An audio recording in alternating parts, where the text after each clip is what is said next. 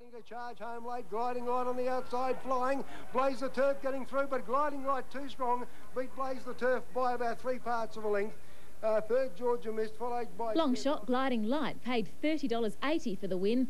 The favourite, Blaze the Turf, coming home second. Now to race seven.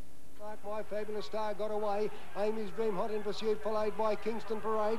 My Fabulous Star in front. Here's Kingston Parade on the outside, lunging. Kingston Parade doing too well, and Kingston Parade won by almost a length. My Fabulous Star. Third was Godina, followed by Vitamins.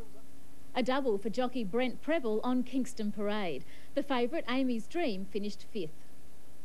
In the final event, Sir Talak was the winner.